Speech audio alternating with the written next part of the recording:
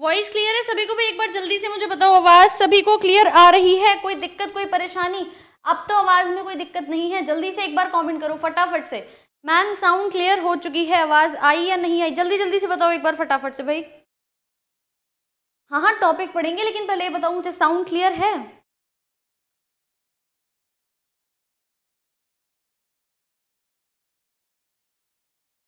जल्दी से मैसेज करो एक बार फटाफट से। अगर आवाज़ क्लियर है, आ गई है, चलिए, ठीक है। डन। तो अब सेशन को स्टार्ट करते हैं फटाफट से। सभी को राम राम, राधे राधे, जय श्री कृष्णा। जल्दी से आ जाओ और सेशन को फटाफट से अपने साथियों तक शेयर कर दो, क्योंकि तुमने इससे पहले की कहानी तो सुनी नहीं, जो मैंने बता दी। ठीक है? तो जल्दी से एक बार सेशन को फटाफट से शेयर कर दीजिए। गुड मॉर्निंग, हो चुकी है आप सभी को। और संडे में पढ़ाई करी या मौज करी, ये भी बता दो, हैं? कहीं करवा चौथ मना रहे थे तुम भी? तो इसी के साथ भाई देखो, जैसे आपको दिखाई दे रहा है, आज का टॉपिक क्या पढ़ने वाले हैं? फैट के बारे में, यानी कि वसा के बारे में पढ़ने वाले हैं हम सभी। टॉपिक बहुत इंपॉर्टेंट है। सबसे पहले मैं आपको एक बात बताना चाहूँगी। सबसे पहले एक बात बताना चाहूँगी कि जैसा कि आप सभी जानते हो न्यूट्रिशन से डेफिनेट आपका क्वेश्चन बनता है। न्यूट्रिशन मतलब मैम पोषक तत्व, चाहे वो विटामिन हो, चाहे कार्बोहाइड्रेट हो फैट हो प्रोटीन हो मिनरल्स हो, यहाँ से क्वेश्चन बनता है। सेशन बहुत इंपॉर्टेंट इसीलिए है कि हमें पता होना चाहिए ना कि एक्चुअली में पोषक तत्व कैसे होते हैं, क्या होते हैं और किस प्रकार से देखे जाते हैं। चलिए, अनीता देवी आ गई हैं। आशीष पटेल क्लास मिस करते हो यार, ऐसे काम नहीं चलेगा, है ना? क्लास मिस मत किया करो क्लास मिस करोगे तो आपका लॉस आपका घाटा। फिर मैं बोलूँगी, मेरा कुछ नहीं चाहता तो इसलिए क्लास को मिस मत किया करो, चीज़ों को समझा करो, क्योंकि टॉपिक आपका एग्ज़ाम ज़्यादा दूर नहीं है। अब ज़्यादा टाइम नहीं है आपके पास। एनिमल किंगडम बिल्कुल कराऊँगी मैं। ठीक है, ये खत्म होने दो, इसके बाद आपका एनिमल किंगडम स्टार्ट करेंगे। टेंशन ना लीजिए। सोयम पासवान ठीक है। चलो चलो चलो। फटाफट से सभी आ गए हो ना, जल्दी से जाओ और एक बार सेशन को शेयर करके आओ। जो कि मैम को दोबारा से ना बोलना पड़े, फटाफट से एक बार शेयर कर देंगे और let's begin with today's topic तो जैसा कि आप सभी देख पा रहे हो कि हम पढ़ने जा रहे हैं फैट के बारे में। ठीक है? उसी के साथ साथ जो कहते हैं ना कि मोटिवेशन अंदर से आना चाहिए, भाई, मैं कह दूँ, तुम कह दो, कोई और कह दे। मोटिवेट आप खुद से ही होते हो। फिर भी आपके लिए एक बहुत प्यारी लाइन लिखी हुई है कि अपने लक्ष्य को तब तक मत छोड़ो जब तक वो पूरा ना हो जाए। क्योंकि कुछ लोग क्या करते हैं कि एग्ज़ाम नज़दीक आ गया, तैयारी फिफ्टी परसेंट थर्टी परसेंट छोड़ देते हैं। अगला अटेम्प्ट देंगे, भैया, तुम्हें पता है वैकेंसी वैसे भी नहीं आती। आती है तो तुम मेहनत ना करो, तुम छोड़ दो, तुम अधूरा छोड़ दो। कभी ऐसी गलतियाँ मत करना। अच्छे तरीके से जो मेहनत करी है, उसमें आगे बढ़ जाओ और जब तक वो पूरा ना हो जाए, तब तक छोड़ना नहीं है है ना? या तो हम इसको पा लेंगे हाँ हमें, हमारा मेन मोटिव यही है कि दुनिया में ना दिक्कतें बहुत आती हैं। हमेशा परेशानी, जब आप कोई अच्छा काम करने जा रहे हो ना, बहुत रुकावटें आती हैं। वो रुकावटें ही आपका टेस्ट है कि आप उनसे आगे बढ़ सकते हो या नहीं। आपके अंदर खुद में इतना पोटेंशियल है या नहीं? आपके लिए पूरी दुनिया जहान की सारी ताकत एक हो जाएगी। अगर आपने सोच लिया कि कुछ भी हो जाए, मुझे करना है, वो तुम्हारा कॉन्फिडेंस तुम्हें यहाँ से वहाँ लेकर चला जाएगा। लेकिन कब? जब वो कॉन्फिडेंस आपके खुद के अंदर से आएगा। आज मैं कह दूँ, आपके पापा, मम्मी कोई भी कह दे, नहीं आएगा। मैं फिर से कह रही हूँ, नहीं आएगा। किसी के कहने से मोटिवेट आप शायद कुछ दिन, कुछ महीने हो सकते हो। मगर अचीव करने के लिए उस गोल को आपके अंदर खुद से वो मोटिवेशन आना चाहिए। ठीक है? संडे को क्लास नहीं थी आपकी। चलिए। चलो तो let's begin with the topic आप सभी के लिए आज का पहला टॉपिक आ चुका है। उससे पहले देखो थोड़ी सी बेसिक चीज़ें मैं आप लोगों को बताऊँगी यहाँ पे। हमने जैसे कि बात करी थी पोषक तत्व की, ठीक है? न्यूट्रिशन की। क्वेश्चन भी करेंगे, लेकिन क्वेश्चन से पहले समझ लो कि बेसिक चीज़ें हम यहाँ पर पढ़ क्या रहे हैं और क्यों रहे हैं। इसमें मैंने आपको दो भाग बताए थे, जो भी साथी नए जुड़े हैं ना, जिन्होंने भी पिछली क्लासेस ज्वाइन नहीं करी थी, वो एक बार सुन लेंगे। दो तरीके के बताए थे। एक था मैक्रो न्यूट्रिएंट जिनकी क्वांटिटी आपको ज़्यादा चाहिए। दूसरे मैंने आप सभी को बताए थे माइक्रो न्यूट्रिएंट एक था मैक्रो दूसरा माइक्रो माइक्रो मतलब सूक्ष्म पोषक तत्व जिनकी क्वांटिटी हमें मैम थोड़ी सी चाहिए, लेकिन वो इंपॉर्टेंट होती है। अगर हमें थोड़ी सी भी चाहिए तो वह भी हमारी बॉडी के लिए क्या होती है? बहुत ज़्यादा इंपॉर्टेंट होती है। तो इसी के लिए, इसी के लिए दोनों को मैंने किस तरीके से बांटा? मैक्रो न्यूट्रिएंट में आपके प्रोटीन आते हैं, जिनके बारे में हम चर्चा कर चुके हैं। फिर आते हैं आपके कार्बोहाइड्रेट, यानी कि शकरा। आप सभी को याद होगा कि लास्ट लेक्चर में हमने इसके बारे में भी डिस्कस किया था और आप में से कई बच्चे बोल रहे थे कि मैम विटामिन को एक बार टेबल चार्ट में बना के बता दीजिए तो आज हम आपका क्लास के एंड में उसको भी कर लेंगे, ठीक है? आ जाओ, शकरा के बारे में हम पढ़ चुके हैं। इसके बाद जो मैक्रो न्यूट्रिएंट आता है दैट इज़ वसा दैट इज़ फैट बात को ध्यान से सुनना। हम फैट पढ़ रहे हैं तो फैट है क्या मैडम फैट एक न्यूट्रिशन, यानी कि एक न्यूट्रिएंट है, बेसिकली एक पोषक तत्व है, और वही पोषक तत्व किसमें बटा हुआ है? मैक्रो न्यूट्रिएंट में। माइक्रो की बात करोगे, इसके अंदर तुम्हारा विटामिन आता है, इसी के अंदर आपके मिनरल्स आते हैं, खनिज पदार्थ आते हैं, ठीक है? खनिज पदार्थ आते हैं आपके सभी। तो जो चीज़ें जिसकी रिक्वायरमेंट जिस तरीके से होती है, उसको हमने बांटा हुआ है कि भाई बॉडी में कम चाहिए, ज़्यादा चाहिए, या फिर उसका साइज़ क्या रहेगा। डाइट्री फाइबर्स हो गए, ये सभी चीज़ें आपकी बॉडी के अंदर बहुत ही इंपॉर्टेंट है। इसी में हम पढ़ने जा रहे हैं। अरे, पढ़ लो तुम, पता नहीं कहाँ कहाँ की बातें करते हो। इसी के अंदर हम पढ़ने जा रहे हैं आज फैट के बारे में। किसके बारे में? जी फैट के बारे में। आ जाओ ज़रा देखो एक बार, अगर मैं फैट की बात कर रही हूँ तो आखिर फैट किससे मिलकर के बना हुआ है? अच्छा आपको मैंने एक बात बताया था मैम, प्रोटीन क्या होता है? प्रोटीन एक बहुलक है। किसका बहुलक है? अमीनो एसिड का। प्रोटीन किससे मिलकर बना हुआ है? अमीनो अम्ल से मिलकर बना हुआ है। कार्बोहाइड्रेट की बात करी थी, शकरा की बात करी थी, किससे मिलकर बने थे वो? ग्लूकोज से। छोटे छोटे सेक्राइड के मोलिक्यूल से मिलकर के बने हुए थे। ऐसे ही अगर मैं फैट की बात करूँगी तो फैट भी किसी ना किसी से मिलकर बना है ना? यही बात तो अपने को करनी है। पढ़ लो, पढ़, ठीक है? फैट की बात करेंगे तो भाई फैट क्या है? जो छोटी यूनिट्स किसकी होती हैं? ग्लिसरॉल की और फैटी एसिड की। यह दो चीज़ों से मिलकर के बना हुआ है, जिसे हम क्या कहते हैं? एक ग्लिसरॉल और दूसरा फैटी एसिड अब सोचो मैम ये दोनों क्या क्या होते हैं? डिटेल में पढ़ेंगे, आराम से पढ़ेंगे, चीज़ों को समझते हुए पढ़ेंगे, ठीक है? आपको पता है कि फैट किससे मिलकर बना है? इन दोनों चीज़ों से मिलकर बना है।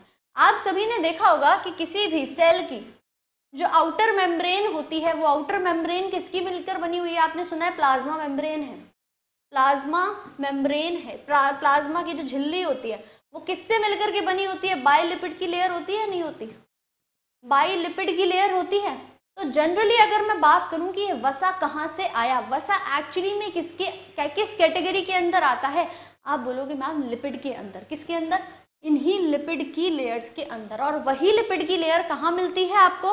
कहाँ देखने को मिलती है? आपके सभी बायोलॉजिकल मेम्ब्रेन के अंदर। आपकी जितनी भी कोशिका झिल्ली, जैविक झिल्लियाँ होती हैं, वह लिपिड की लेयर की बनी होती हैं। यानी कि लिपिड की लेयर के अंदर लिपिड के अंदर तीन चीज़ें होती हैं। एक फैट होता है, जिसे हम फैटी एसिड के नाम से जानेंगे। स्टेरॉल और फॉस्फोलिपिड ये तीन चीज़ों से मिलकर बना हुआ है। किससे? तीन चीज़ों से मिलकर बना हुआ है।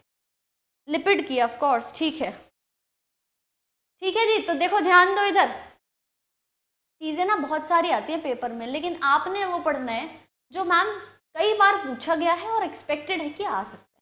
बेसिक हम उसी तरीके से क्लियर करेंगे, जैसे कि मैंने बोला आपसे लिपिड है। अब आप क्या बोलोगे? अब आप क्या बोलोगे कि मैम लिपिड के अंदर एक फैट आ गया, एक स्टेरॉल आ गया, एक फॉस्फोलिपिड आ गया, अगर इसकी मैं कैटेगरी देखूँ। बोलोगे ना, मैम थ्योरी है, नहीं समझ में आ रही, नहीं याद हो रही। समझो चीज़ों को, उसके बाद जैसे तुम जिस तरीके से फैटी सब्सटेंसेस खाते हो ना, तुम्हें पता होना चाहिए ये हार्मफुल है या बॉडी के लिए यूज़फुल है। ये मेरी बॉडी में हेल्प कर रहा है या उससे दिक्कत कर देगा, रोग, बीमारियाँ पैदा कर देगा। ठीक है? तो सेशन को ज़्यादा से ज़्यादा पहले तो शेयर करके आओ, फटाफट से एक बार। उसके बाद आ जाओ जी, इन तीन कैटेगरी पे। आपने नाम सुना होगा कोलेस्टेरॉल का। कभी सोचा उस वर्ड को अगर मैं तोड़ दूँ? जैसे मैं आपको हमेशा बताती हूँ बायो में let's break the word cholesterol में लास्ट में क्या आ रहा है? स्टेरॉल। ये स्टेरॉल कहाँ से आया? यहीं से। किसका कैटेगरी है? लिपिड की कैटेगरी है। इसी कोलेस्ट्रॉल की अगर मैं बात करूँगी या कहाँ कहाँ पाया जाता है? आपकी सभी सेल मेम्ब्रेन में आपकी नर्व शीथ में, आपके बाइल के अंदर पित्त रस के अंदर हॉर्मोन्स में और विटामिन डी विटामिन डी में कैसे मैम याद है एक वर्ड एर्गोस्टेरॉल हाँ जी, याद आ रहा है किसी को? स्टेरॉल शब्द। तो यही लिपिड की कैटेगरी पहली जिसे मैंने स्टेरॉल बोला, वो कहाँ कहाँ मिलेगी? यहाँ पर मिलेगी। दूसरा मैडम फैटी एसिड फैट या फैटी एसिड फैट की मैं बात करूँगी ना फैट जैसा कि मैंने आपको बताया, किससे मिलकर बना है? फैटी अम्ल और ग्लिसरॉल से मिलकर बना है। सबसे पहले देख लो, किस प्रकार से यह यहाँ पर मिलकर के बना हुआ है। देखो जी, हमारे पास मैडम एक बैकबोन है, जिसे हम ग्लिसरॉल कहेंगे। इसके साथ तीन फैटी एसिड जुड़े हुए हैं। कैसे जुड़े हुए हैं? ये रहा आपकी ग्लिसरॉल ठीक है ग्लिसरॉल क्या है? ग्लिसरॉल है आपका एक alcohol C O H C O H C O H बात आई समझ में? हाँ भाई, बात आई भैया, समझ में? जल्दी से बताओ एक बार। नहीं आई तो इधर देखो। अगर मैं एक एल्कोहल को एक कार्बोक्सिलिक अम्ल से जोड़ दूँ एक अल्कोहल प्लस कार्बोक्सिलिक एसिड ये मिलकर के क्या बनाते हैं? ये मिलकर के फैट बनाते हैं। बेसिकली फैट भी कैसे बनाएँगे? मिलकर के ईस्टर बनाते हैं। ये बात सबको पता है? जितने केमिस्ट्री वाले हो, ये बात सबको पता है? जल्दी से बताओ। मैम मैरिड है या नहीं है, ये पेपर में नहीं आएगा, ठीक है? पेपर में आएगा ईस्टर कैसे बना फैट कैसे बना, इस पे ध्यान दे लो। एल्कोहल और कार्बोक्सिलिक एसिड मिलकर के ईस्टर बनाते हैं। ईस्टर्स जो हैं आपके, वो यहाँ पर बन गए। अब अगर मैं यहीं पे बोलूँ एल्कोहल मैंने कौन सा ले लिया, मैम? ग्लिसरॉल ले लिया। सी O H C O H और सी ओ एच ये आपका ग्लिसरॉल का स्ट्रक्चर है। इसी ग्लिसरॉल में मैंने क्या ऐड किया? तीन मॉलिक्यूल फैटी अम्ल के फैटी एसिड कैसे हैं आपके? कार्बोक्सिलिक एसिड हैं। मिल करके क्या बनाएँगे? मिल करके ये एक वसा का अणु बनाकर तैयार कर देंगे, जिसे हम फैट के नाम से जानते हैं। इसी को ट्राइग्लिसराइड कहा जाता है, जैसे कार्बोहाइड्रेट को सेकेराइड कहते हैं, ऐसे ही फैट को ग्लिसराइड के नाम से जाना जाता है। ठीक है? ग्लिसराइड के नाम से जाना जाता है। मेरी बात आ रही है सभी को समझ में? चलो, मिश्रा जी, संदीप पांडे, बातचीत पे ध्यान नहीं केवल और केवल पढ़ाई पे। हाँ। ठीक है? तो अगली बार से अगर आपसे पूछे, यही रिएक्शन को याद रखना, एक ग्लिसरॉल है आपका। ये एक स्ट्रक्चर जो है आपका, ये ग्लिसरॉल का है, इसमें तीन कार्बन तीन अल्कोहलिक ग्रुप से जुड़े होते हैं। साथ में अगर मैं किसको जोड़ दूँ? साथ में मैंने कार्बोक्सिलिक एसिड कितने जोड़े तीन फैटी एसिड जनरली भी अगर आप देखते हो ना तो ईस्टर ऐसी तो बनता है R O H plus R C double O H इसको मिला करके क्या बन जाएगा आपका? ईस्टर बन जाएगा। हाँ भाई, बात आ रही है समझ में? तो अब क्या बताओगे मैम फैटी एसिड जो होते हैं आपके, वो ट्राईग्लिसराइड कहे जाते हैं और यही चीज़ आपको यहाँ पर दिखाई गई है कि ग्लिसरॉल की एक बैकबोन साथ में तीन फैटी एसिड जब जुड़े हुए होते हैं तो आपका क्या बनाते हैं? आपका एक फैट का अणु बनाकर तैयार कर देते हैं। इसका स्ट्रक्चर कुछ इस प्रकार से ही आपको दिखाई देगा। कुछ इस प्रकार से आपको दिखाई देगा। तो इस रिएक्शन को इंपॉर्टेंट मार्क करके जल्दी से लिख लो। आपसे पूछेगा, फैट क्या होता है? तो बता देना, मैम, फैट ट्राईग्लिसराइड कहे जाते हैं, जिन्हें हम ईस्टर अब ये तो पता ना, ईस्टर कैसे बना? एक ग्लूकोज ऐड किया है और आपने कार्बोक्सिलिक अम्ल ऐड किया। जनरल रिएक्शन में भी केमिस्ट्री में यही होता है। ठीक है, ईस्टर ऐसे ही बनता है। ईस्टर क्या होता है? जिनकी बहुत ही फ्रूटी सुगंधित स्मेल होती है। अच्छी सी स्मेल आती है फ्रूटी सी। क्लास स्टार्ट होती है डेली ग्यारह बजे। जो टाइम आपको याद ही नहीं रखना होता है ना। जितना सीरियस आप लोग होते हो ना कि अच्छा वो मूवी आने वाली है। बिल्कुल जाएँगे फ़र्स्ट डे फ़र्स्ट शो। ऐसे ही डेली याद रखा करोगे क्योंकि तुम्हारे पेपर आपकी सक्सेस आप, आपकी लाइफ के लिए बहुत ज़्यादा इंपॉर्टेंट है। आप जिस एग्ज़ाम की तैयारी कर रहे हो अगर उसकी क्लासेस ही अटेंड नहीं करी कैसे निकालेंगे? कैसे करेंगे? रिविजन तैयारी तो डेली क्लास होती है ग्यारह बजे। अभी मूवी आ जाए कोई? भाई मेरी मूवी आ रही है मैं तो फ़र्स्ट डे फ़र्स्ट शो जाऊँगा देखने। हाँ चलो इधर देखो। वसा को ट्राइग्लिसराइड कहा जाता है। ईस्टर्स कब बनते हैं?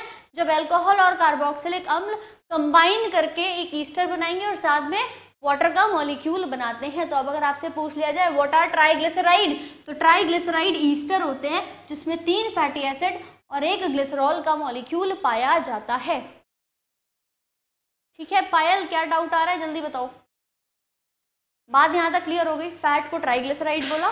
फैट किससे मिलकर बना है? यहाँ तक। अब चीज़ें समझ में आ गई होंगी। अब सुनो, आखिर ये कितने टाइप का होता है? आखिर ये कितने टाइप का होता है? जैसे कि मैंने आपसे बात करी, एक ग्लिसरॉल है मैम, तीन फैटी एसिड है। ठीक है, अब पहले सुनो ग्लिसरॉल क्या है और फैटी एसिड क्या है? मैं अगर ग्लिसरॉल की बात कर रही हूँ, आप सभी में से टिकटॉक बनाने वाले भी होंगे टिकटॉक देखने वाले भी होंगे, जिन्होंने वो देखा होगा ना डुप्लीकेट आँखों से आँसू आ रहे हैं। ग्लिसरीन जब यूज़ करते हैं कोई तो आँखों से एकदम डुप्लीकेट आँसू निकलने शुरू हो गए और एक टिकटॉक की और बढ़िया सी एक रील बना दी। ठीक है? हाँ तो वही ग्लिसरॉल जो है आपका, वह ह्यूमिक टेंट की तरह काम करता है। हम उसी ग्लिसरॉल ग्लिसरीन की बात यहाँ पर कर रहे हैं। ये एक शुगर की तरह भी काम करता है। बेसिकली कलरलेस है, कोई रंग नहीं है इसमें। ऑर्डरलेस है, कोई भी गंध नहीं है, सुगंध कुछ भी नहीं है इसकी। और यह नॉन टॉक्सिक कहा जाता है। कहने का मतलब मैम, इसके अंदर क्या नहीं है? सुन लो, सुमित यादव जी बता रही हूँ क्या काम होता है। इसके अंदर क्या नहीं है मैम, कोई भी विषैला पदार्थ नहीं है। दिस इज़ नॉन टॉक्सिक दूसरा, एक बैकबोन की तरह काम करता है। जैसे मैंने एक फैट का मॉलिक्यूल बनाया तो उसकी बैकबोन की तरह यह यहाँ पर काम करेगा। साथ ही साथ, साबुन भी देखे होंगे ना तुमने? सुंदर सी निखरी त्वचा के लिए क्या यूज़ किया है? आपने यूज़ किया है एक ग्लिसरीन वाला साबुन। सॉफ्ट स्किन बच्चों के लिए भी यूज़ करते हैं। तो साबुन में भी इसका प्रयोग किया जाता है। खुजली हो गई। खुजली के टाइम पर भी क्या लगाते हैं? ग्लिसरीन लगाते हैं। ठीक है? हाँ इसी के साथ ई सिगरेट जो कंथल जिसमें कंठल डालते थे, जो स्टार्टिंग में चली थी, वो ई सिगरेट के अंदर भी ग्लिसरॉल ही डाला जाता है। साथ ही साथ भैया, विस्फोटक सुना होगा। एक विस्फोटक सुना होगा जिसको हम नाइट्रोग्लिसरीन के नाम से जानते हैं। नाइट्रोग्लिसरीन, तुमने बहुत सारे विस्फोटक पढ़े होंगे केमिस्ट्री में। टीएमटी हो गया, नाइट्रोग्लिसरीन हो गया इसके अंदर भी क्या डाला जाता है? आपका ग्लिसरॉल डाला जाता है। नाइट्रोग्लिसरीन बनाने में यह काम करता है। बिल्कुल पायल जी, बिल्कुल बिल्कुल। ये बात आप बिल्कुल सही कह रहे हो। चलो हाँ संतूर सी त्वचा याद आ गई। जल्दी से एक बार ना सेशन को फटाफट से, जिसने भी अभी तक शेयर नहीं किया है, जल्दी से सेशन को शेयर कराओ। अगला सुनो फैटी एसिड क्या है? फैटी एसिड जैसे मैंने तुम्हें बताया कार्बोक्सिलिक एसिड की श्रृंखला है। कार्बोक्सिलिक एसिड अब तक तो हमने सुने हैं R C double O H R L alkyl group हो गया सी डबल ओ एच आपका कार्बोक्सिलिक अम्ल का ग्रुप है। सुनो जरा इधर कि मैम ये बनता कैसे है? अगर मैं बोलूँगी फैटी एसिड क्या है? अगर मैं आपसे कह रही हूँ कि फैटी एसिड क्या है तो फैटी एसिड होते हैं दो प्रकार के। फैटी एसिड होते हैं आपके दो प्रकार के। पहला होता है अनसैचुरेटेड दूसरा होता है सैचुरेटेड दोनों में डिफरेंस क्या है? दोनों में डिफरेंस ये है, अगर मैं कह रही हूँ C H three C H two C H two C double O H ये है एक कार्बोक्सिलिक एसिड का ग्रुप ये मैंने एक पूरी चेन लगा दी, लेकिन क्या इस चेन के अंदर कोई भी डबल या ट्रिपल बॉन्ड है? जल्दी बताओ। कोई भी डबल या ट्रिपल बॉन्ड है? अगर नहीं है, उसी को कहा जाता है सैचुरेटेड क्या कहा जाता है? सैचुरेटेड फैटी एसिड कहा जाता है, जो केवल और केवल सिंगल बॉन्ड से मिलकर बना। ये मत कहना मैडम, यहाँ डबल बॉन्ड है, वो कार्बोक्सिलिक एसिड का है, वो पूरा ग्रुप है कार्बोक्सिलिक एसिड का। मैं आपसे कह रही हूँ, इस पूरी चेन में अगर सिंगल बॉन्ड है तो सैचुरेटेड है। अगर इस चेन के अंदर आपको कहीं पर भी डबल बॉन्ड दिखाई दे गया तो आप कह देना कि जी वो क्या बन जाएगा? वो आपका अनसैचुरेटेड फैटी एसिड बन जाएगा। तो फैटी एसिड आपके दो तरीके के होते हैं, एक सैचुरेटेड और दूसरा अनसैचुरेटेड अनसैचुरेटेड के अंदर आपको कहाँ दिख रहा है? एक डबल बॉन्ड दिखाई दे रहा है। डबल दिखे ट्रिपल दिखे, दोनों को ही क्या कहोगे? दोनों को ही क्या कहोगे? बिल्कुल सही जनाब अनसैचुरेटेड फैटी एसिड कहा जाएगा। आ जाओ ज़रा वापस से देखो। जब तक तुम्हें ऐसे समझ में नहीं आता ना तो दिखता नहीं। ये सी डबल एच का ग्रुप ये पूरी देखो चेन दिख रही है, लेकिन यहाँ पर मैम क्या है? डबल बॉन्ड क्या कह दो? क्या कहा? अनसेचुरेटेड आगे क्या लग गया आपका? नॉर्मल चेन है। इसी में यहाँ पर सी डबल एच का ग्रुप पूरी चेन कैसी है? सिंगल बॉन्ड वाली चेन है। क्या कहेंगे आप इसको? आप इसको कहेंगे सैचुरेटेड फैटी एसिड तो फैटी अम्ल कितने प्रकार के हो गए? दो प्रकार के हो गए। ठीक है? अब डेली क्लास सुबह ग्यारह बजे यहीं पर चल रही है और कहीं नहीं है। फटाफट से सेशन को जल्दी से शेयर कर दो। तो अगर आपसे पूछे फैटी एसिड क्या है तो फैटी एसिड कार्बोक्सिलिक क्या होते हैं? कार्बोक्सिलिक एसिड होते हैं, जिनके अंदर है तो बेसिकली कार्बोक्सिलिक एसिड लेकिन पूरी लंबी सी क्या लग रही है? एक चेन दिखाई देगी। चेन में डबल बॉन्ड भी हो सकता है ट्रिपल बॉन्ड भी हो सकता है सिंगल बॉन्ड भी हो सकता है। वो एक एलिफेटिक चेन कहलाती है। आप सभी को पता है एलिफेटिक और एरोमेटिक में अंतर क्या है? एक चेन होती है एलिफेटिक एक होती है एरोमेटिक एलिफेटिक चेन के अंदर हमेशा इस तरीके से आपको ओपन चेन दिखाई देगी। अगर कहीं पर बेंजीन रिंग दिख जाए, कहीं पर बेंजीन रिंग दिख जाए, उसको एरोमेटिक चेन कहा जाता है। हाँ ठीक है, उसको एरोमेटिक चेन कहा जाता है। यहाँ तक चीज़ें समझ में आ गई। फैटी एसिड कितने प्रकार के हो गए? दो प्रकार के हो गए। अब देखो फैटी एसिड को ही ना मैं अलग अलग तरीके से विभाजित कर रही हूँ। मैं आपको ये क्यों बता रही हूँ? मैं आपको इसलिए बता रही हूँ क्योंकि अगर आपने ये समझ लिया तो आप समझ जाओगे कि वो रिफाइंड और डालडा के पैकेट के ऊपर क्यों लिखा होता है? Poly unsaturated fatty acid. MUFA MUFA, क्यों लिखा हुआ होता है? मोनो अनसैचुरेटेड फैटी एसिड, वो होते क्या हैं? उन्हीं को समझने के लिए थोड़ा बेस समझ लो। क्योंकि अगर आपने ये समझ लिया ना, फिर आज के बाद अगर आपसे कोई पूछेगा हाँ जी, कौन सा फैट खाने में अच्छा होता है? तो आप उसे बड़े आसानी से बताओगे, जी, मैं बताता हूँ थम जा ठीक है? हाँ। चलो, मिश्रा जी, क्या सुनना है भाई? पढ़ लो। किधर किधर बातें चल रही हैं? वॉइस क्लियर आ रही है? एक बार जल्दी से मुझे बताओ वॉइस क्लियर आ रही है? अरे वो फूफा नहीं यार, ये वाला फूफा।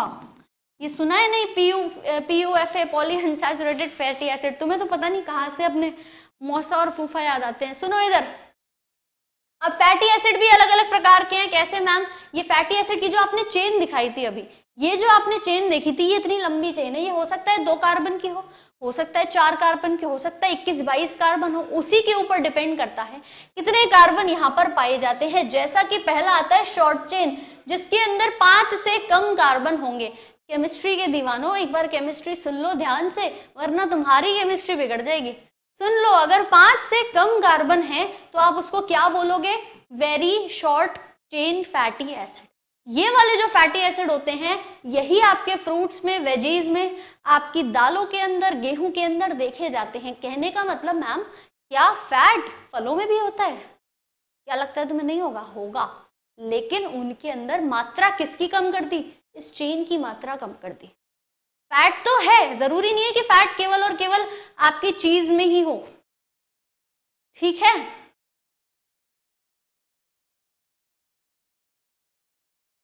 चलो तो अगर आपका जो फैटी एसिड की चेन है, यानी कि ये वाली जो मैंने आपको पूरी चेन दिखाई, चाहे सैचुरेटेड हो, चाहे अनसैचुरेटेड हो, अगर ये बहुत छोटी, यानी कि पाँच से कम कार्बन की है तो वो कहाँ पाई जाएगी? फलों के अंदर। कहाँ पाई जाएगी? सब्जियों के अंदर, दालों के अंदर, आपके गेहूँ, मक्का, सबके अंदर होल ग्रेन्स के अंदर ये पाई जाती है। जैसे कि ब्यूटायरिक एसिड हो गया। ब्यूटायरिक एसिड मतलब ये देखो इधर एसिटिक एसिड जिसको आप पढ़ते हो, दो कार्बन है। ठीक है, एक सी डबल एच वाला और एक आपका मीथेन लगा हुआ है इसके साथ। प्रोपियोनिक एसिड तीन कार्बन हो गए, ब्यूटायरिक नाम से आ गया, चार कार्बन हो गए, जिसमें पाँच से कम है, वो शॉर्ट चेन है। खाने के लिए सबसे ज़्यादा हेल्दी यही वाला होगा। अगर मैं इसके बाद बात करूँ long chain sorry medium chain fatty acid की तो भाई अभी तक कितने थे? पाँच से कम। अगर मैं पाँच से लेकर सॉरी छह से लेकर बारह तक कर दूँ तो क्या बन जाएगा madam? Medium chain fatty acid बन जाएँगे। कार्बन कितने हैं? छह से लेकर बारह तक। कहाँ पाए जाएँगे ये सभी आपके नारियल तेल में और डेयरी फैट के अंदर। डेयरी फैट मतलब दूध से बनी हुई सभी चीज़ों में, दूध, पनीर, खोआ, इन सभी के अंदर जो आपको फैटी एसिड की चेन मिलेगी, वो 6 से लेकर 12 कार्बन एटम तक देखने को मिलती है। हाँ जी, आशीष पटेल, अभी बताऊँगी ओमेगा थ्री अनसैचुरेटेड क्या होता है। पहले ये तो समझो, पहले ये तो समझो, इसकी टिप्स तुम्हें वैसे ही पता चल जाएँगी।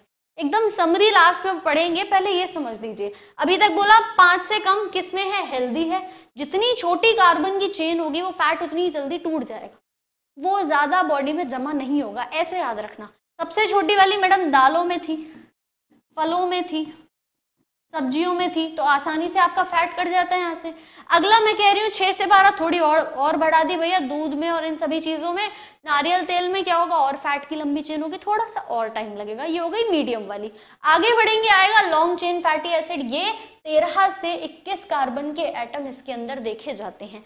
मतलब अगर मैं बात करूँ मछली की, कहते हैं ना फ़िश के अंदर फैट होता है फैट होता है तो भैया फैट इसमें थोड़ा ज़्यादा होता है, क्योंकि इसकी कार्बन की चेन 13 टू 21 कार्बन लिए बैठी हुई है।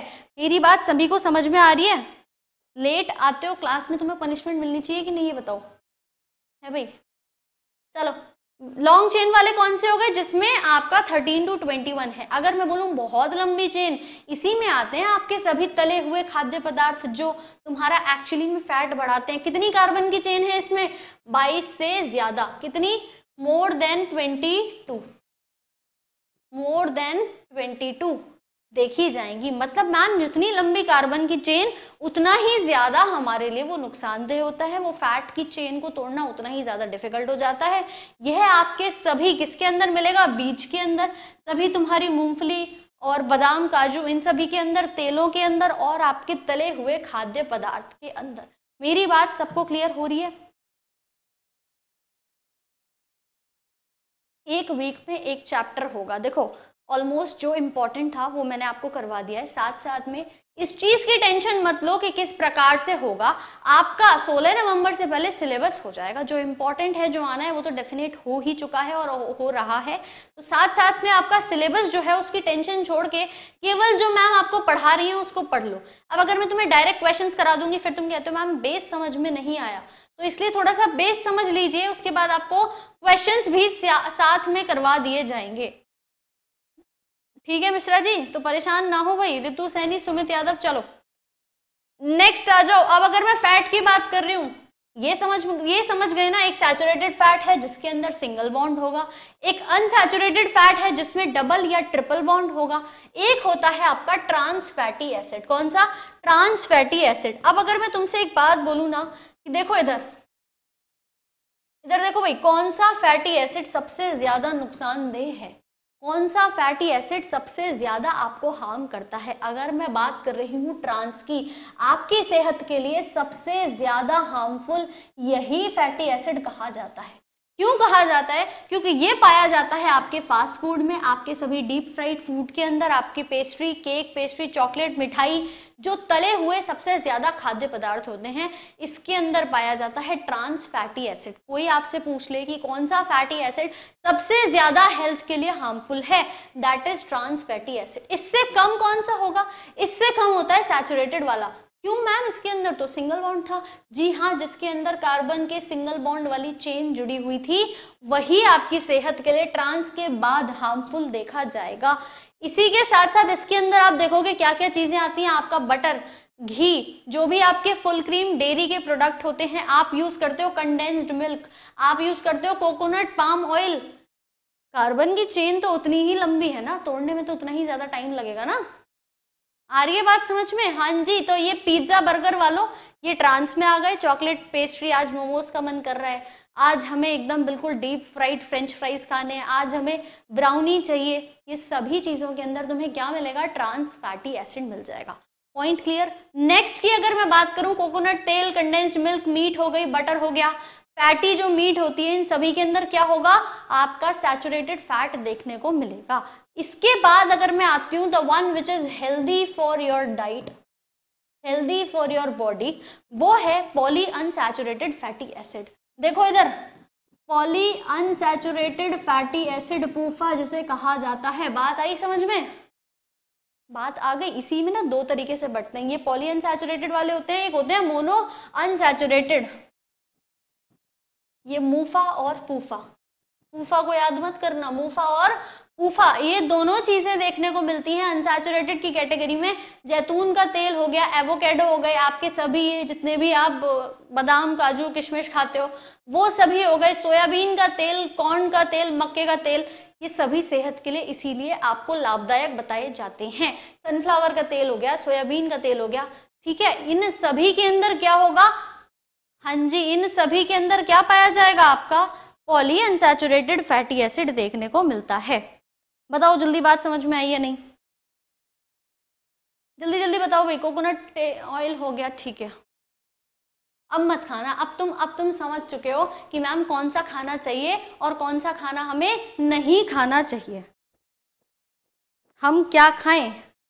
आप खाइए ये अनसैचुरेटेड फैटी एसिड यही वाला जैसे कि आप सोयाबीन का ऑयल यूज़ करिए, ठीक है? आप सभी जितनी भी जितनी भी चीज़ें आपको यहाँ पर लिखी हुई हैं, जिसमें भी ऊफा मुफा प्रेजेंट होता है, इसीलिए बोला जाता है। टीवी में एड्स आप लोगों ने कई बार देखे होंगे, या आप लोग कभी घर में डालडा रिफाइंड इन सभी के पैकेट लाते हो, उसके ऊपर कभी इंग्रेडिएंट्स पढ़े एक्चुअली में क्या क्या लिखा होता है? कौन सा ऑयल इसके अंदर यूज़ किया जा रहा है? चीज़ों को इसीलिए देख कर समझ कर फिर यूज़ करना चाहिए कि कौन सा कौन सा आपके सेहत के लिए अच्छा होगा? आपसे क्वेश्चन क्या आएगा यहाँ से? कौन सा फैट हेल्थ के लिए बहुत ज़्यादा अच्छा है?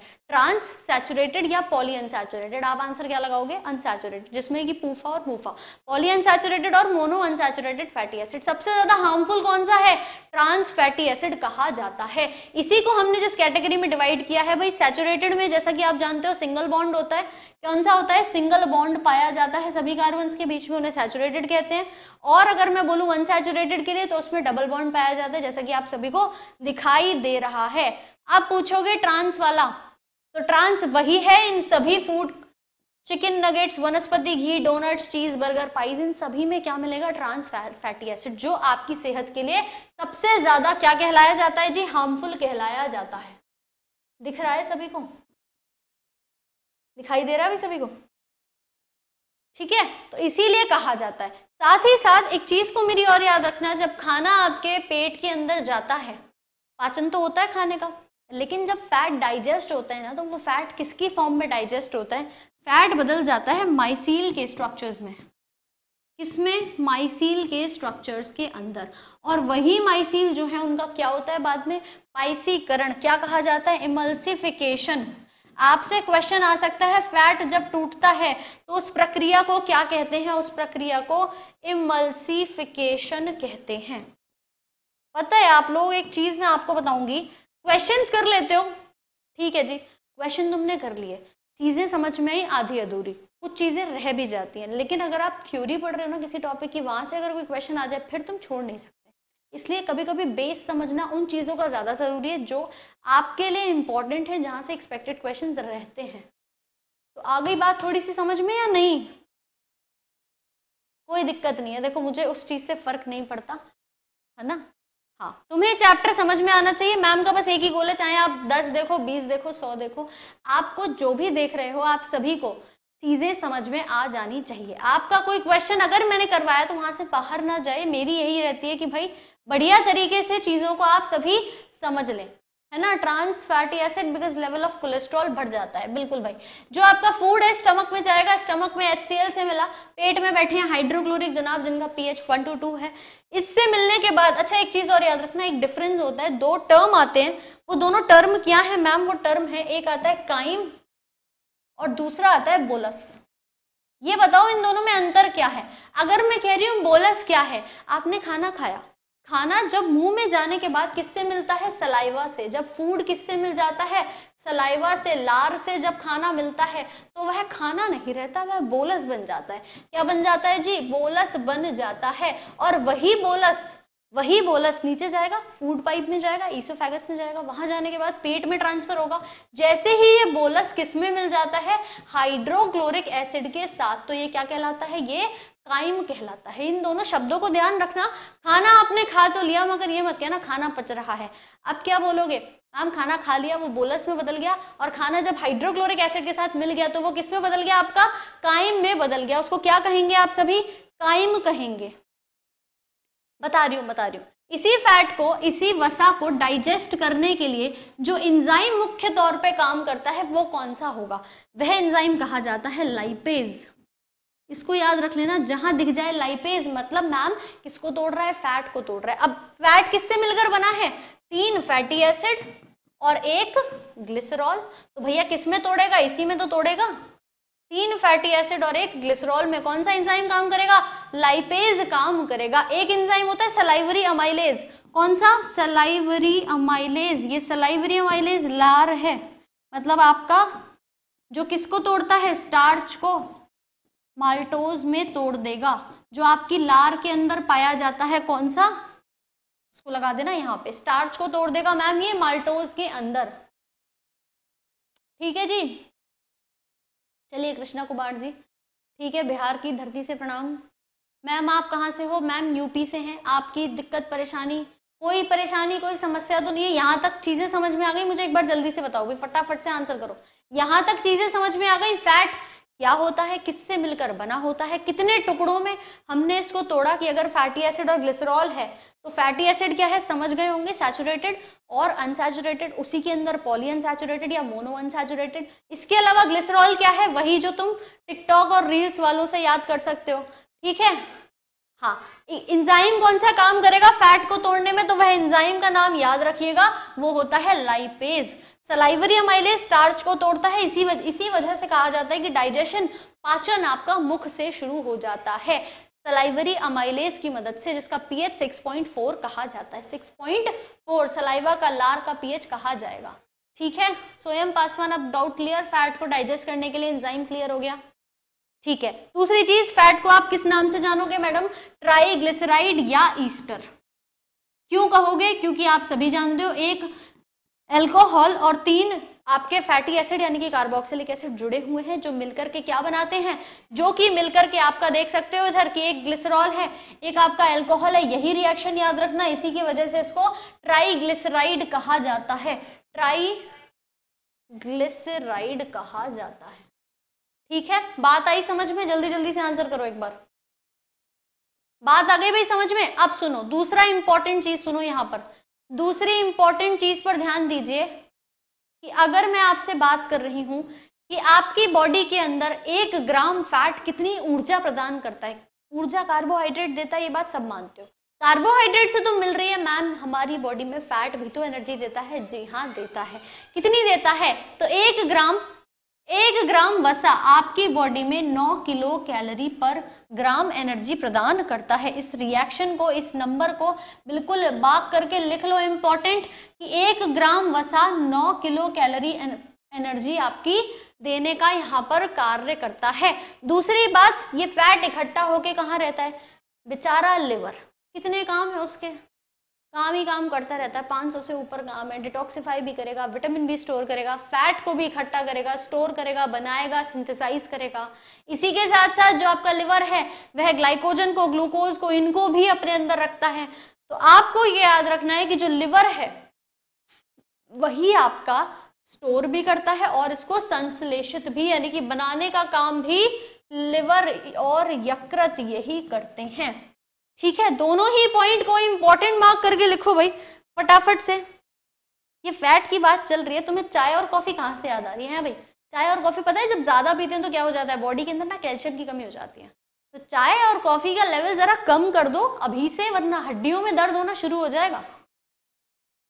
हाँ जी लिवर में कोई इंजाइम नहीं होता, ठीक है? चलो।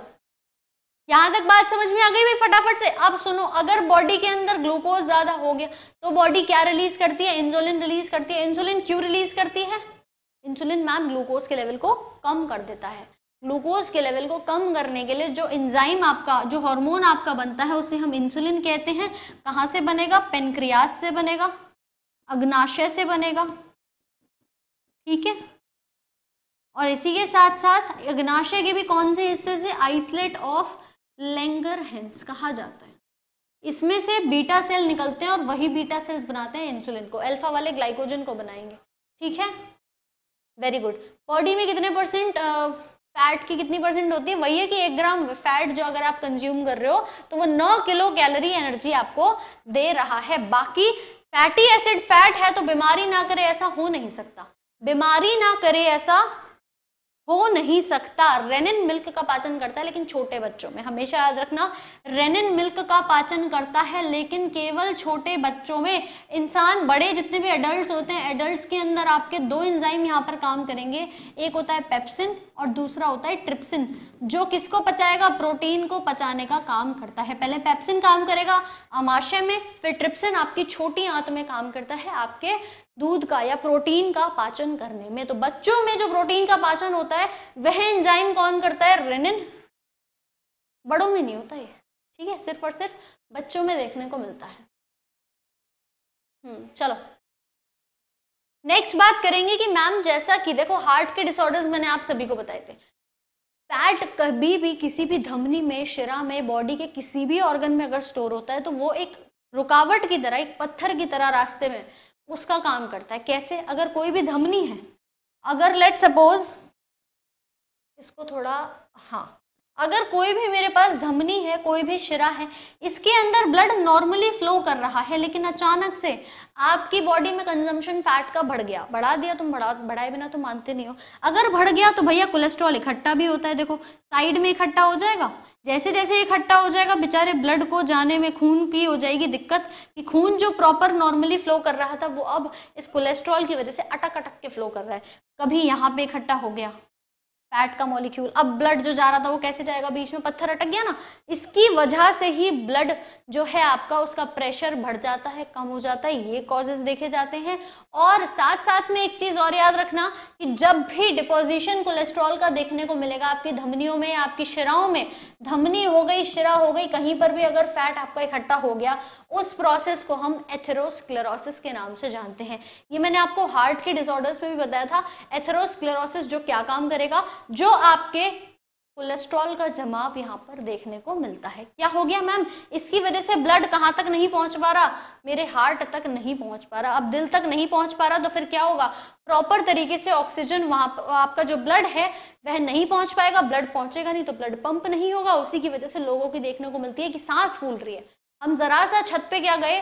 चार पाँच मंजिल क्या चढ़े सांस फूलने लग गई। हमने थोड़ा सा रनिंग क्या करी? सांस फूलने लग गई। क्यों? ये जो आपकी ऑक्सीजन है, जो ब्लड है, वो प्रॉपर तरीके से हार्ट की फंक्शनिंग को नहीं करने दे रहा। किसकी वजह से? कोलेस्ट्रॉल की वजह से। तो जल्दी बताओ, ये बात समझ में आ गई? Tuna fish omega three fatty acid बिल्कुल सही भाई। प्रोटीन को पचाने में अग्नाशयी रस प्रोटीन को पचाने में मैंने आपको बता दिया, दो चीज़ें काम करेंगी। एक आपका काम करेगा पेप्सिन दूसरा ट्रिप्सिन ये दोनों ही काम करते हैं। पेप्सिन जो है वो पार्शियली हाइड्रोलाइज करता है प्रोटीन को पेप्टोन्स प्रोटियोज में तोड़ देगा और बाद में बचा हुआ जो भी पेप्टोन्स और प्रोटियोज हैं, वो ट्रिप्सिन तोड़ता है छोटी आंत के अंदर इंटेस्टिनल जूस के अंदर। ठीक है? चलो, बहुत बढ़िया। यहाँ तक बात समझ में आ गई? हाई ब्लड प्रेशर हो गया, ठीक है, धन्यवाद, चलो। हाँ। अब यहाँ तक कोई चीज़ आएगी, गड़बड़ तो नहीं करोगे। सेशन को जल्दी से एक बार शेयर कर दो और फटाफट से ये सुन लो कि आखिर ओमेगा थ्री फैटी एसिड और ओमेगा सिक्स फैटी एसिड जो हर जगह लिखे होते हैं व्हाट आर दे आपने नाम कई बार सुना है madam omega three fatty acid है ओमेगा सिक्स फैटी एसिड है। मैंने आपको बताया पॉली अनसैचुरेटेड फैटी एसिड है। देखो इधर। तुम इधर सुनो। हाँ। हमारे पास क्या है? सी डबल ओ एच ये मेरे पास एक पूरी कार्बन की चेन है, ठीक है? ये पूरा आपका एक फैटी एसिड का स्ट्रक्चर आपको दिखाई दे गया। अब आप क्या करोगे? अगर अगर आपका ये जो डबल बॉन्ड है, आपका ये जो डबल बॉन्ड है, ये कहाँ पर है? लास्ट से तीसरे नंबर के कार्बन के ऊपर। लास्ट से तीसरे नंबर के कार्बन के ऊपर अगर डबल बॉन्ड लगा हुआ है, तीसरे नंबर का इसमें जो पोजीशन है ना, उसको थोड़ा सा ध्यान रखते हैं। तीसरे नंबर पे अगर डबल बॉन्ड लगा हुआ है तो आप उसको क्या कहेंगे? आप उसको बोलेंगे omega three fatty acid these are poly unsaturated fatty acid जिसमें डबल बॉन्ड कहाँ है? तीन कार्बन एटम दूर देखा जाता है। किससे? टर्मिनल आपके मिथाइल ग्रुप से। कैसे देखा जाता है? देखो इधर।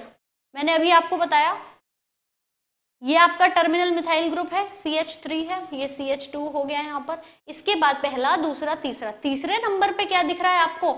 यहाँ पर दिख रहा है मैडम डबल बॉन्ड अगर आपको डबल बॉन्ड टर्मिनल वाले मिथाइल ग्रुप से तीसरे नंबर के कार्बन पे तीन नंबर बाद दिख रहा है तो उस फैटी एसिड को आप क्या बोलोगे? उस फैटी एसिड को बोलोगे omega three fatty acid omega three fatty acid जो खाने के लिए बहुत ज़्यादा अच्छा माना जाता है, जो हेल्थ के लिए बहुत ज़्यादा अच्छा माना जाता है। इसके अलावा जो दूसरा हम यूज़ करते हैं that is omega six fatty acid आपके सनफ्लावर के तेल में हो गया सोयाबीन में हो गया। सोयाबीन में प्रोटीन भी है और ओमेगा सिक्स फैटी एसिड भी है। दोनों चीज़ें ध्यान रखना। इसमें कहाँ होगा? ये कार्बन आइटम मैंने हटा दिया यहाँ से। डबल बॉन्ड मैंने यहाँ से हटा दिया। ये पूरी सिंपल चेन हो गई। ठीक है, पहले वाला त्री तीन नंबर वाला लास्ट से तीसरे नंबर पे था। अगर मैं इसको क्या कर दूँगी? देखो इधर। ये तुम्हारा कार्बन की चेन है। ये टर्मिनल मिथाइल ग्रुप है लास्ट है मैं बिल्कुल आखिरी नंबर पे।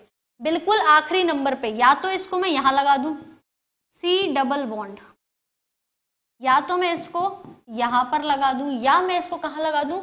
यहाँ पे। ये जो टर्मिनल वाला लास्ट वाला मिथाइल ग्रुप है, इसके साथ ऐड कर दूँ। That is omega six fatty acid कौन सा है ये? ओमेगा सिक्स सिक्स मतलब टर्मिनल नंबर पे है, छठे नंबर पे है। कहाँ गया भाई? N six position counting from the methyl end ये मिथाइल का एंड है।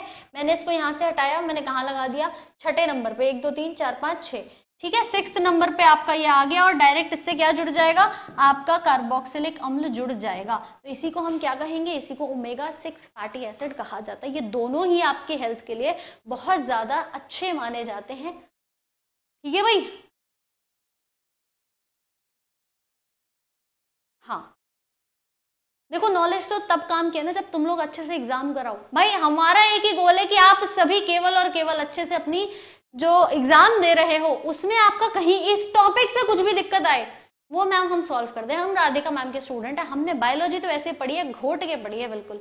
हम उसको तो अच्छे से करके आएँगे। कम से कम हर सब्जेक्ट में अपनी ऐसी कमांड बनाओ कि आप सभी को, अगर आपने पढ़ा है ना तो उसको बहुत अच्छे से पढ़ो। बेसिक चीज़ें अगर आपकी क्लियर नहीं है और फिर आप सोच रहे हो, मेरे को ए बी सी डी नहीं आती और मैं चल दूँ ज़रा पूरी ऑक्सफर्ड की डिक्शनरी समझ में, सोचो कैसे समझ में आएगी। मेरे को ये नहीं पता राम जी, हनुमान जी कौन थे। मैं सोच रहा हूँ रावण की मृत्यु कैसे हुई। रावण को किसने मारा? समझ में आ पाएगा? नहीं आ पाएगा ना? बेसिक चीज़ों को समझिए। आपको अगर यही यहाँ पे पता है, आज तक हम डेली सुनते आए हैं पूफा लो, मूफा लो, अरे भाई सब है क्या ये पूफा मूफा, कुछ तो होगा, इसका आधार क्या है, इसका बेस क्या है? यही तो अपने को जानना है। ओमेगा थ्री फैटी एसिड खाओ ओमेगा सिक्स फैटी एसिड खाओ। क्यों खाएँ? क्या है इसके अंदर? क्यों अच्छा है? डबल बॉन्ड की पोजीशन है इजीली टूट सकता है इजीली फैट बॉडी के अंदर आपका टूट जाएगा। इकट्ठा नहीं होगा कोलेस्ट्रॉल नहीं जमने देगा हार्ट की समस्या नहीं होने देगा। बताओ बात में कहाँ दिक्कत है? हाँ जी, बिल्कुल इससे रिलेटेड जो भी क्वेश्चन है वो करवाऊँगी। ए, पढ़ लो। हाँ पीडीएफ मिल जाएगी अड्डा ट्वेंटी फोर सेवन की एप्लीकेशन पे। डेली देखो क्लास होती है सुबह ग्यारह बजे। डेली क्लास होती है सुबह ग्यारह बजे। तुम्हारे हर टॉपिक का मेरा एक ही गोल होता है। जो भी बेस से है ना, वो तुम्हें वो समझाओ। लेकिन फिर तुम कहते हो, मैम क्वेश्चन करा दो, हमें तो सीधे क्वेश्चन करने हैं। फिर अगर मैं कल से बता दूँ मुझे, कल से डायरेक्ट क्वेश्चन कराना शुरू कर दूँ थ्योरी छोड़ दूँ? बिल्कुल, है भाई। समझ में आ गई चीज़ें? जल्दी, अगर ये टॉपिक अच्छे से समझ में आ गया तो फटाफट से थम्सअप का साइन भेजो। जल्दी से एक थम्सअप का साइन भेजो। तुमसे मैं डायरेक्ट लाइव क्लास तो ऑफलाइन तो है नहीं कि बात कर लूँ, है ना? तो जल्दी से यहाँ पर अपना इशारा थम्सअप का साइन भेजो और इधर सुनो, आपके जो लिपिड थे, जिसमें कि हमने तीन चीज़ों की चर्चा करी थी, देखो, इधर वापस से आ जाओ एक बार। इधर जरा वापस से आ जाओ। जब हमने स्टेरॉल्स की बात करी थी ना, कुछ इस प्रकार से लिपिड की बात करी थी कि देखो जनाब, एक स्टेरॉल आपका ये कोलेस्ट्रॉल के रूप में पाया जाएगा, दूसरा आपका जो पाया जाएगा वो होगा फॉस्फोलिपिड जिसमें लिपिड की बाई लेयर आपकी सेल मेम्ब्रेन की होती है। इसके अलावा फैट ट्राइग्लिसराइड तो ये तो आपको समझ में आ गया कंज्यूम फैट स्टोर फैट क्या होता है? मेम्ब्रेन्स में कौन कौन सा पाया जाता है? यहीं पर अगर मैं स्टेरॉल वाले, इन्हीं स्टेरॉल वाले लिपिड की बात करूँ देखो इधर, अगर स्टेरॉल वाले लिपिड की बात करूँ तो यहाँ पर क्या पाए जाते हैं? स्टेरॉल लिपिड होते हैं जो सेल मेम्ब्रेन को बनाते हैं, पहली चीज़। ठीक है? धन, ठीक है, चलो। ये किसमें आते हैं आपकी? सेल मेम्ब्रेन में, जो भी आपकी कोशिका भित्ति है। इसके अलावा आपके जो स्टेरॉइड हार्मोन बनते हैं, दो प्रकार के होते हैं, एक अड्रीनल ग्रंथि यानी कि अधिवृक से बनते हैं, दूसरा आपके सेक्स हार्मोन्स ये दोनों ही आपके स्टेरॉइड हार्मोन कहे जाते हैं। अब इसको ध्यान से सुन लो कि इसके अंदर आते कौन कौन से हैं। इसके अंदर आते कौन कौन से हैं? क्या होता है? अड्रीनल ग्रंथि है। कहाँ है मैम ये रही किडनी। इसके ऊपर ये बैठी एड्रीनल ग्रंथि। ठीक एक चीज़ तुम्हें पता है यहाँ पे ना दो भैया बैठते हैं इस एड्रीनल ग्रंथि के मेड्यूला वाले पोर्शन से निकलने वाले एक एड्रीनलिन और दूसरा नॉर एड्रीनलिन जैसे ही तुम्हारे कोई टेंशन हुई आप उड़ान लड़ो डरो मरो ये वाला आपने हार्मोन सुना होगा लड़ो या डर, मरो। ठीक है लड़ो या डर उड़ो वाला। फ़्लाइट फाइट और फियर हार्मोन। यह कब रिलीज़ होता है? जब मेरी किसी से लड़ाई हो जाए या मुझे डर लग जाए या मेरे को क्या हो रहा है? बहुत ज़्यादा घबराहट हो रही है। उस टाइम पर एक हार्मोन निकलता है यहाँ से, जिसे कहते हैं एड्रेनलिन वो जैसे ही बॉडी से निकलेगा, मुझे टेंशन है, घबराहट है, मेरा झगड़ा हो गया, मेरा ब्लड प्रेशर बढ़ा देगा प्लस मेरी हार्ट बीट को बढ़ा देगा। एक होता है ना, पसीने आने शुरू हो जाते हैं बीबी बढ़ गया टेंशन हो गई, मैडम, अब क्या करें?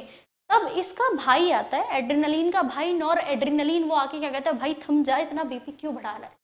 क्यों मार रहा है इंसान को? वो तुरंत जाके सारी सिचुएशन को नॉर्मल में कर देता है। हार्ट बीट भी नॉर्मल ले आता है, बहत्तर बीट बीपी भी नॉर्मल ले आता है 120 बटा 80 कौन लाता है?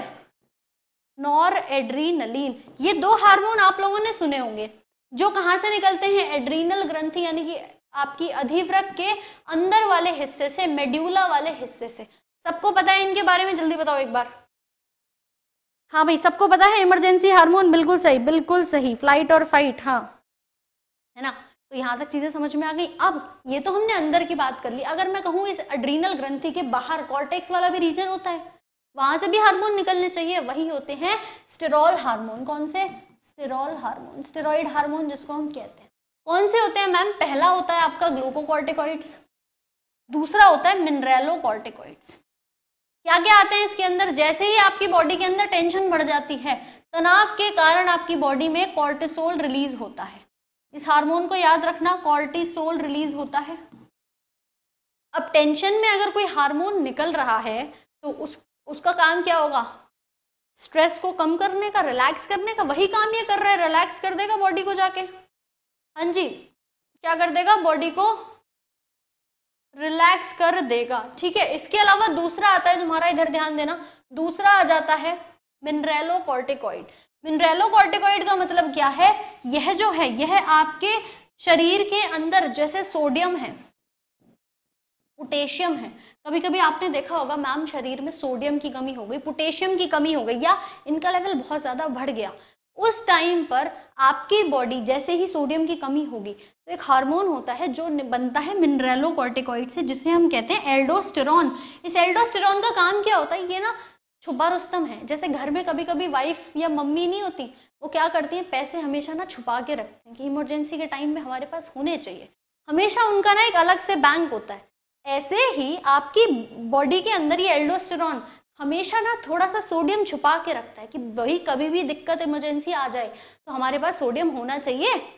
ठीक है, ये बहुत ही प्लानिंग के साथ काम करता है तो यह क्या काम करता है? सोडियम को रिटेन करके रखता है। सोडियम रिटेनिंग हार्मोन कहा जाता है। जल्दी बताओ, मेरी बात समझ में आई? सोडियम है, पोटेशियम है, जितने भी इलेक्ट्रोलाइट्स होते हैं, उनकी कमी नहीं होने देता। क्योंकि क्योंकि अगर इनकी कमी हो गई तो सोचो नमक की कमी। सोडियम की कमी डिहाइड्रेशन हो गया, कभी अचानक से लूज मोशन बढ़ गए डिहाइड्रेशन हो गया, कहाँ से लाओगे तुरंत नमक? डॉक्टर के पास जाओगे डॉक्टर सोडियम की बॉटल चढ़ाता है ग्लूकोज की कमी हो गई ग्लूकोज की बॉटल चढ़ाता है, उससे पहले ही जो लेवल आपका बना के रखता है ना, वो है एल्डोस्टेरॉन जल्दी बताओ, बात समझ में आई? हाँ स्ट्रेस के लेवल में पेपर के दौरान, बिल्कुल होगा, मुझे पता है। हाँ परीक्षा के दौरान जो तुम्हारा BP heart rate sodium potassium सारे ऊपर नीचे हो जाते हैं। तो है ना? तो उसी को मेंटेन करने के लिए बॉडी के अंदर कुछ हॉर्मोन्स होते हैं। कॉर्टिसोल क्या काम करेगा? रिलैक्स करेगा। यह है आपका एल्डोस्टेरॉन सोडियम को रिटेन करके सोडियम को स्टोर करके रखता है। ज़्यादा फैट होने से सर्दी कम लगेगी। अब अगर देखो, ये लॉजिक अगर सच में होता ना तो हर कोई पता है क्या करता? हर कोई अक्टूबर के महीने से ना खाना खाना शुरू करता कि भाई फैट बढ़ाओ। फैट बढ़ाओ, ताकि दिसंबर, जनवरी, फरवरी तीनों महीने ना आराम से कट जाए, कि हम मोटे हो जाए। जनवरी से फिर जिम करना शुरू कर दो। क्या ये लॉजिक काम कर रहा है? और उन्हीं तीन महीनों में तुमने फैट बढ़ा लिया। सपोज़ कोई समस्या हो गई फैट से, होती है कोलेस्ट्रॉल से पचास बीमारी होती है थायराइड हो गई कोलेस्ट्रॉल से आपका हार्ट के डिसऑर्डर्स हो गए, फिर क्या करोगे? ऐसे लॉजिक काम नहीं करते। ठीक है? ठंड में फैट बढ़ा हुआ होना चाहिए। ना, गलती मत करना ऐसे। एड्रीनल ग्रंथि से ये दो हार्मोन बनेंगे और आपके सेक्स हार्मोन्स बनते हैं, जो कि क्या कहे जाते हैं? स्टेरॉल कहे जाते हैं। जैसे कि पुरुषों के अंदर टेस्टोस्टेरॉन मेल सेक्स हार्मोन है। एस्ट्रोजन आपका फीमेल सेक्स हार्मोन है। सेकेंडरी सेक्सुअल कैरेक्टर्स को बनाएगा। साथ ही साथ प्रोजेस्ट्रॉन जिसे हम प्रेगनेंसी हार्मोन भी कहते हैं, इसका लेवल तभी बढ़ता है जब प्रेगनेंसी देखी जाती है। तो इसको आप प्रेगनेंसी हार्मोन के नाम से भी जानते हो। हमेशा याद रखना, ये तीनों हार्मोन भी कैसे आपके स्टेरॉइड या स्टेरॉल हार्मोन कहे जाएँगे। जल्दी बताओ, कोई दिक्कत फैट के अंदर, कोई समस्या भाई? हम्म। चलो, आपकी यहाँ तक जो भी देखो फैट से रिलेटेड था, वो सारी चीज़ें क्लियर हुई या नहीं? सबसे पहले तो मुझे ये बता दो, यहाँ तक फैट से संबंधित जितनी भी चीज़ें थी, वो सभी आपको क्लियर हो गई? अब अगर फैट से रिलेटेड वसा से संबंधित कोई क्वेश्चन आ जाए तो दिक्कत तो नहीं करोगे। अब मुझे बताओ, बता दोगे ना कि मैम एक्चुअली में फैट क्यों बनता है, कहाँ से बनता है, क्या करता है, क्यों करता है, कौन सा हमें खाना चाहिए, किसकी चेन लंबी होती है, जिसकी वजह से वो टूट जाता है और बॉडी में फैट नहीं बढ़ाता? आ रही है बात समझ में या नहीं? क्लियर हो गया ना? ऐसी ही चीज़ों को अपन क्लियर करेंगे। इसके क्वेश्चन मैं आपको करा दूँगी। कल के लेक्चर में टेंशन मत लो। और आपका विटामिन का चार्ट भी बनवाना है, मुझे याद है। वो मैं आपको कल ही बनवा दूँगी। अभी आपका टाइम हो चुका है, दूसरी क्लास भी है आपकी। तो आप सभी ने सबसे पहला काम तो ये करना है कि भाई चैनल को जल्दी से सब्सक्राइब कर लो। अगर सेशन पसंद आया है तो फटाफट से शेयर कर दो। आपकी क्लास डेली यहीं पर चल रही है एस एस सी अड्डा ट्वेंटी फोर सेवन पर। कंजूसी मत दिखाना। सभी दिलदार बनो, है ना? ऑफिसर बनने जा रहे हो। जल्दी से सब्सक्राइब कर लेना शेयर कर देना। सेशन पसंद आया तो जल्दी से लाइक शेयर सब्सक्राइब सभी कर देंगे। और इसी के साथ साथ डेली जो आपके क्लास की टाइमिंग है 11 बजे की, इसको अटेंड करना मत भूलना। प्लस साथ ही साथ आपके सभी कोर्सेज पर 77 परसेंट का ऑफ़ चल रहा है। तो जल्दी से जाओ और कोड लगाओ Y370 जैसे ही आप इस कोड को लगाओगे, आपके लिए डायरेक्ट 77 परसेंट का ऑफ़ हो जाएगा। मैम, आप ये क्यों बोलते हो? आप क्यों बताती हो कि ये कोड लगाना है? भाई, इसलिए बताती हूँ, क्योंकि थ्योरी तो तुमने पढ़ ली। अब तुम्हें हु मॉक टेस्ट बायो के मैं करा रही हूँ साइंस का मैं करा रही हूँ, लेकिन और सब्जेक्ट्स के भी तो क्वेश्चंस करने हैं। As it is mock test देने हैं या नहीं देने सिर्फ़ थ्योरी पढ़ के रहोगे। अच्छे तरीके से एक प्री प्लान मैनर में जो आपके टेस्ट डिसाइडेड हैं, बने हुए हैं, आपको एप्लीकेशन पे मिल रहे हैं, केवल और केवल अस्सी नब्बे रुपए में तो जल्दी से जाना आपके लिए। सेवेंटी सेवन परसेंट का ऑफ़ है। जो डिस्काउंट है उसे अवेल करो और इस कोड को लगा करके अपनी तैयारी को फटाफट से शुरू कर दो। टाइम नहीं है। अगला आपका एसएससी का महापैक क्यों आया हुआ है? क्योंकि आपका C G L C H S L बारह महीने की वैलिडिटी है। आराम से तैयारी करो, अच्छे से करो। जिन्होंने स्टार्ट किया, उनके लिए बहुत अच्छा है और जिन्होंने नहीं किया, जिन्होंने अभी भी नहीं किया, जो सोच रहे हैं, करूँ या ना करूँ, सोचो मत। तैयारी में डट जाओ। क्योंकि जो लोग आपसे आगे हैं वो आपसे कई गुना आगे निकल चुके हैं ऑलरेडी उनकी तैयारी शुरू हो चुकी है। तो अपनी तैयारी में कोई देरी नहीं। सभी क्या करेंगे? चैनल को सब्सक्राइब करेंगे और Y three seven zero code लगा करके कोड लगा करके क्या कर देंगे? अपने जितने भी कोर्सेज हैं, उन सभी में इनरोल ज़रूर कर लेंगे। कुछ पूछते हैं, मैम, नौकरी कब मिलेगी? भैया, नौकरी तब मिलेगी जब तुम तैयारी शुरू करोगे। ठीक है? चलो। सारे सब्जेक्ट्स होंगे, आप एक बार अडर ट्वेंटी फोर सेवन की ऑफिशियल वेब पेज पर जाइए। आप जो भी रेलवे एनटीपीसी यूपी बिहार कहीं से भी अगर आप हो और किसी भी एग्ज़ाम की तैयारी कर रहे हो, आप सभी के लिए महापैक्स आ चुके हैं। इसीलिए बोला गया है कि सेवेंटी सेवन परसेंट का ऑफ़ है। आप सभी ने केवल एक कोड लगाना है वाई तीन सौ सत्तर ठीक है? चलो तो तब तक के लिए अपना ध्यान रखें। आपसे मिलेंगे कल सेम टाइम सेम जगह पर। ध्यान रखिए टेक केयर बाय जय हिंद, जय भारत।